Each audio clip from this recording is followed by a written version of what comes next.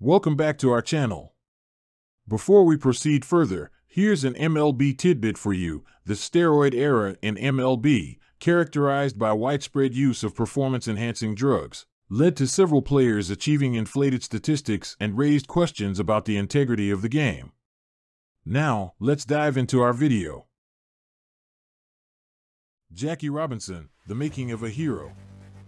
Jackie Robinson is a name that is synonymous with trailblazing and breaking down barriers. As the first African American to play in Major League Baseball, Robinson's impact on the sport and the civil rights movement is immeasurable. But what exactly was it that made Robinson the hero that he is known as today? Early life and baseball career. Jackie Robinson was born on January 31, 1919, in Cairo, Georgia.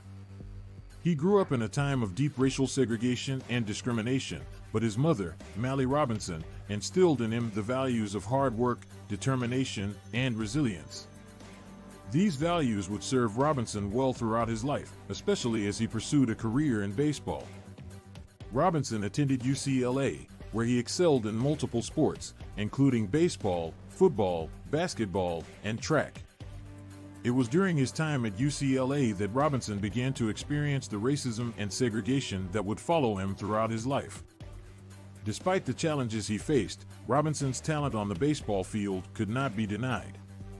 After serving in the United States Army during World War II, Robinson began his professional baseball career in the Negro Leagues, playing for the Kansas City Monarchs.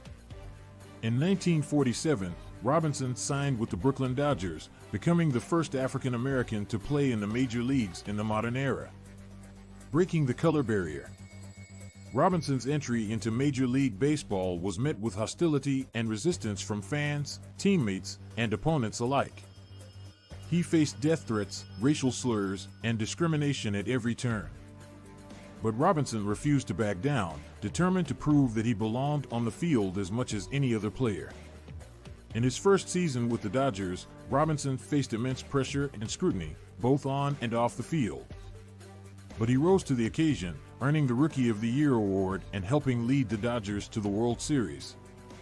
Robinson's success on the field challenged the deeply ingrained racism of the time and paved the way for future generations of African American athletes. Off the field, Robinson was a vocal advocate for civil rights and social justice. He used his platform to speak out against segregation and discrimination and to push for equality and justice for all. Robinson's courage and determination in the face of adversity made him a hero to many and a symbol of hope and inspiration for generations to come.